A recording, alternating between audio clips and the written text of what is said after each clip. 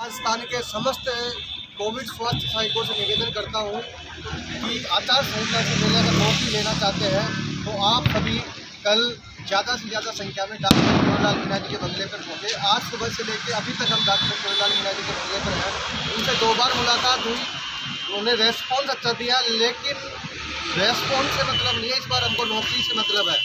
BJP की समस्त बड़े नेताओं ने आपसे वादा किया था, अब बारी है आपकी। आप अपने हक और अधिकार के लिए जो भी साथी जयपुर और जयपुर के आसपास है जो आ सकता है, वो कल सुबह आए, एक या दो दिन का काम है। हो सकता है कि आप सबकी नौकरी और आपका हक और अधिकार आपको मिल जाए।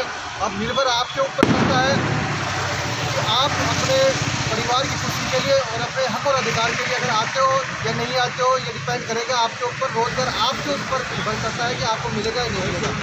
कल सुबह नौ से दस बजे तक आप सभी साथी डॉक्टर किरोलाल मीणा जी के बंगले पर पहुँचे और कल से जैसे अभी तक यही है और कल भी यही रहेंगे। और जब तक अपनी बात सरकार तक अच्छे, मज़बूत तरीके से अपना अधिकार नहीं मिल जाता अपन यहाँ से नहीं उठेंगे